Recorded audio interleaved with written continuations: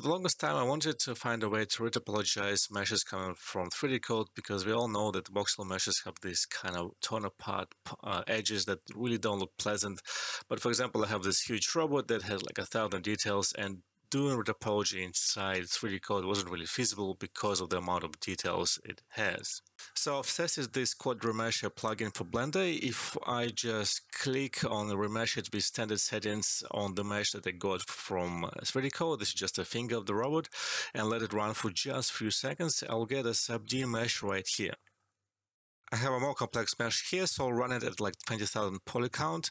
just click on the mesh and I'll wait about uh, maybe about 40 to 60 seconds to run it. So let me click it on a pause. And then go, we have this mesh with really good circles, circular, circular shapes. We do lose a little bit of sharpness on the edges, but still it's quite an impressive result for this methods and for this plugin. It is a paid plugin with about one month's trial. The price is a bit, it's a bit pricey. It's eighty dollars. However, it saves so much time, so I think it's kind of worth the price. And Exoside did give me a ten percent discount code for the first twenty users who want to use this link and buy it. You can find the discount code in the description. Thank you for watching, and see you in the next video.